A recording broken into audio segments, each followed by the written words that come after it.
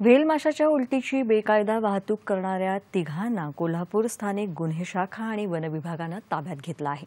स्थानिक गुन्हे शाखेनं या वाहनधारकांकडून सुमारे साडेतीन कोटींचा मुद्देमाल जप्त केला आहे. वेलमाशाची उलटी बेकायदा जवळ बाळगून ती विक्रीसाठी पुणे बेंगळुरू राष्ट्रीय महामार्गावरून जाणार असल्याची माहिती स्थानिक गुन्हे शाखेच्या पोलिसांना मिळाली होती. त्यानुसार स्थानिक गुन्हे शाखेचे पोलीस आणि वन विभागाच्या पथकानं पुणे बेंगळुरू राष्ट्रीय महामार्गावर सरनोबतवाडी इथं सापळा लावत वेलमाशाची उलटी घेऊन जाणाऱ्या तिघांना ताब्यात घेतलं.